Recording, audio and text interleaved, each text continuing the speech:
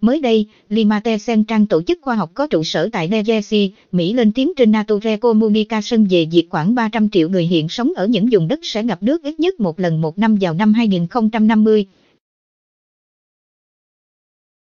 Đáng chú ý, Limate Central dự báo, phần lớn Nam Bộ, trong đó có thị trấn Hồ Chí Minh có thể ngập dưới đỉnh triều khiến nhiều người lo lắng. Đồ họ, Nesiotimet Việt Nam thuộc to chịu ảnh hưởng nặng nề nhất.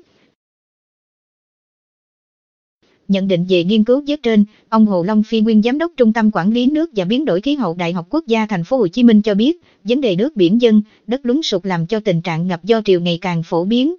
Vấn đề này không thế hệ, từ trước 2010 đã có sự quan tâm. Các kịch bản của Bộ Tài nguyên và Môi trường đã chỉ ra vấn đề này sẽ xảy ra trong tương lai. Do đó, Bộ Nông nghiệp đề xuất dự án kiểm soát triều cho thành phố Hồ Chí Minh gồm hai giai đoạn. Giai đoạn 1 tiến hành ở phía nam của thành phố Hồ Chí Minh, điển hình là dự án 1.000 tỷ đồng đã triển khai. Giai đoạn 2 ở quận 2, quận 9. Tóm lại, vấn đề này đã được đề cập khá lâu và cũng đã có những bước triển khai. Tuy nhiên, bây trừ tốc độ dâng lên cùng với những vấn đề về địa hình khác làm cho tình trạng ngập triều trở nên nguy hại hơn so với trước đây. Ông Hồ Long Phi nguyên giám đốc Trung tâm Quản lý nước và biến đổi khí hậu Đại học Quốc gia Thành phố Hồ Chí Minh. Ảnh Hà Phương. Còn theo giáo sư tiến sĩ Lê Quy Bá Nguyên Viện trưởng Viện Khoa học Công nghệ và Quản lý Môi trường, Trường Đại học Công nghiệp Thành phố Hồ Chí Minh, Việt Nam đang nằm trong to năm nước chịu ảnh hưởng lớn nhất từ chuyển đổi khí hậu, khác biệt là miền Nam nước ta.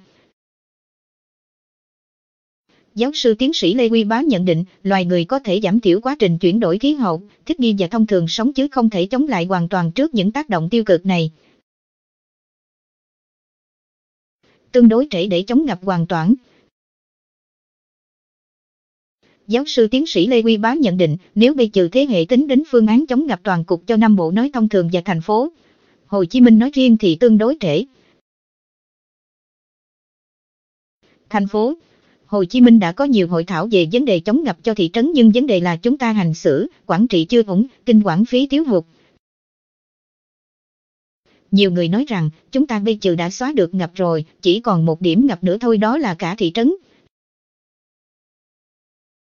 Đây là một câu chuyện vui nhộn nhưng cũng nói lên rằng là tiến độ chống ngập của chúng ta rất yếu ớt trong bối cảnh chuyển đổi khí hậu, sinh ra nhiều dị soàn khác mà chúng ta không lường trước được, giáo sư Lê Quy Bá nói.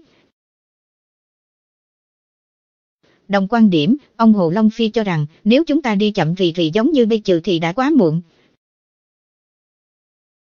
Hệ thống ngăn triều ở thành phố Hồ Chí Minh đã được phê duyệt từ năm 2008 nhưng sau 11 năm vẫn chưa hoàn thành dù rằng đây chỉ là một phần nhỏ của hệ thống. Từ đây đặt ra vấn đề, nếu chúng ta can thiệp trong một quy mô rộng rãi thì đến bao giờ có thể hoàn thành? 100 năm hay 200 năm, đến khi đấy, tất cả đã quá muộn.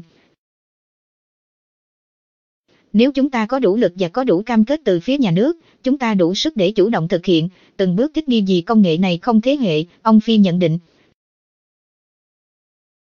Nói về đề xuất chống ngập thế hệ được Hà Lan đề xuất, giáo sư tiến sĩ Lê Quy Bá chia sẻ, kinh nghiệm khoa học về nghiên cứu vết chống ngập của Hà Lan sống ở trong vùng trũng ngập rất đáng quý và trân trọng, nhưng áp dụng công nghệ này tại Việt Nam như thế nào thì cần phải nghiên cứu vết thêm.